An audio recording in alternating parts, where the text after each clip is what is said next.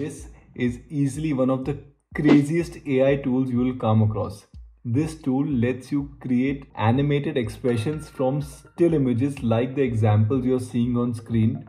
It's absolutely wild and the best part is it is free at least at the time of recording this video. So let's give it a try. This tool that lets us create these amazing expressive videos just from photos is called Live Portrait. The first website we'll use to create these kind of videos using just photos is on the website of Hugging Face. I'll link it below. Once you click on the link, you'll see this kind of an interface.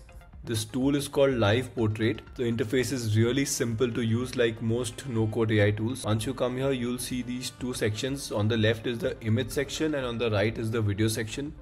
So here you can see if you zoom in into the video section, you can see there are a few example videos also. So let's straight away get to business. Let's select, let's drag and drop a sample image. I'll click on drop image here and the image gets uploaded here in the image section. Then we can select any of these available videos. Let's just select this one. You can just click on play to see the kind of expressions this video is creating. Once you're ready, just simply come here and click on animate and here it says the video is processing and it shall be ready in a short while. And just like that in a short while the result is here. So simply we'll just check out the result. Just look at this. It's quite hilarious. And if you come here on the right and click click on this play button here you can also see the comparison video where on the left they have shown the base reference video and on the right they have shown the result. Quite incredible. So this was very easy. The platform of hugging face often runs into a lot of errors. So don't worry there is another option where we can use live portrait. It's on the website of Replicate. So let's give that a shot too.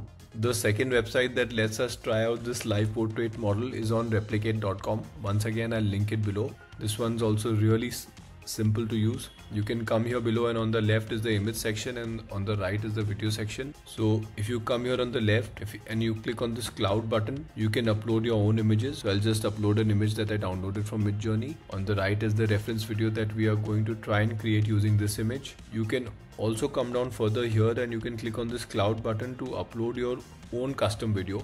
For the purpose of this video i'll stick to this demo video now I'll just simply click on run and here you can see it's running the program and here is the result. Let's check it out.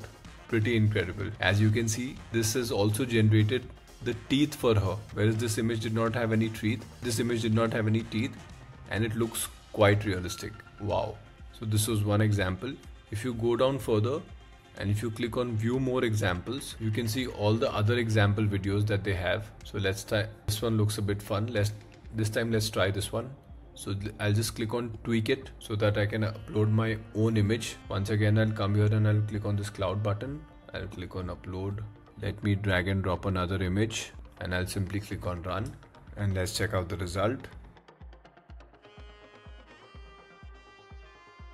Out one last example. I'll upload an image and I'll just click on run. Let's check out the result. Okay this makes me look a bit creepy Thank you for watching. I hope you enjoyed this video. If you enjoyed this video, you will certainly enjoy this video which is coming up here on the screen where we have discussed an AI tool using which you can create presentations, websites and so many other things with a few lines of text. It's absolutely amazing and it's easily one of my favorite AI tools that I use in my daily workflow. Do give it a try. Thank you and see you in the next video.